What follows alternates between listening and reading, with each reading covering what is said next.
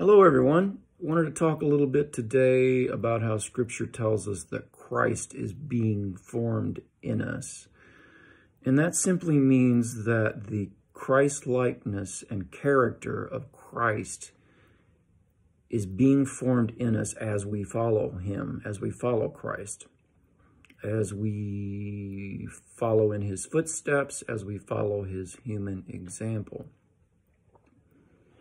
which he commands we must do and warns that unless we do, we cannot be his disciple, which few seem to believe, unfortunately. However, not everyone who professes the name of Christ automatically has Christ being formed in them. You see, the process of Christ being formed in us cannot even begin until we have made the first step, a very critical first step. And that first step, folks, is repentance. Repentance means turning away from, the forsaking of, and the ceasing from all sin, all unholiness.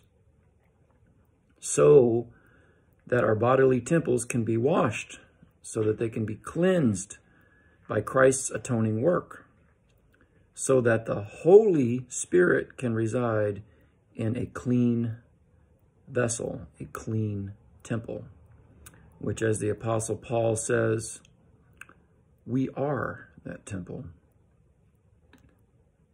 The forsaking and ceasing from all sin, repentance, is just the starting point, folks. It's just step one.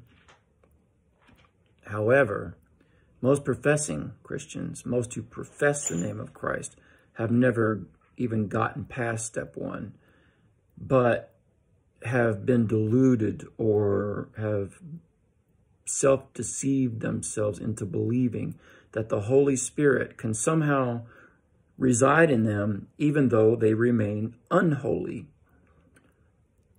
even though they remain an unclean temple. And this is how so many are led into error and deception because they are not being led by the Holy Spirit who leads into all truth. However, we can still always fall prey to temptation as God never takes away our free will ability to show our love to him through our obedience which is by following his son's human example, by following Christ's example, walking as he walked.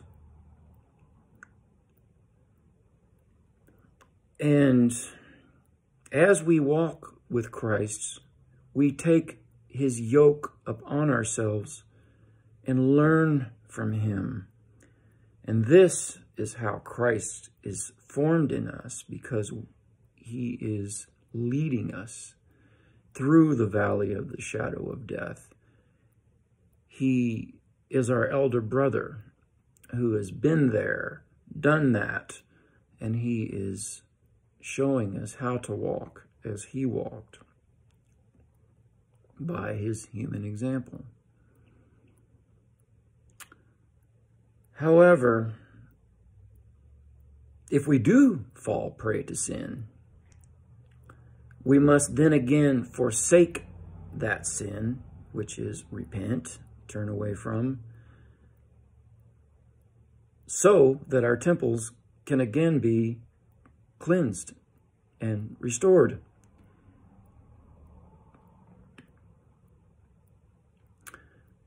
And yes, Scripture does say that if, if we sin, we have an advocate who is faithful and just to forgive us and cleanse us from all unrighteousness. But notice it says, if we sin, not when we sin, if we sin.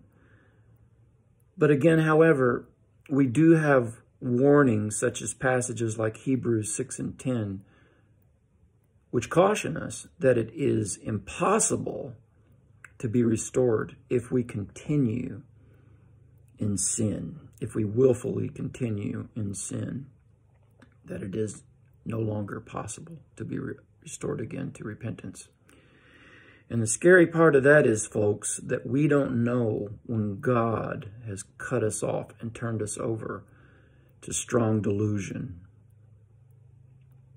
Which is why we are also warned that we have an adversary who seeks to devour the devil and why we are warned that it is a fearful thing to fall into the hands of the living God.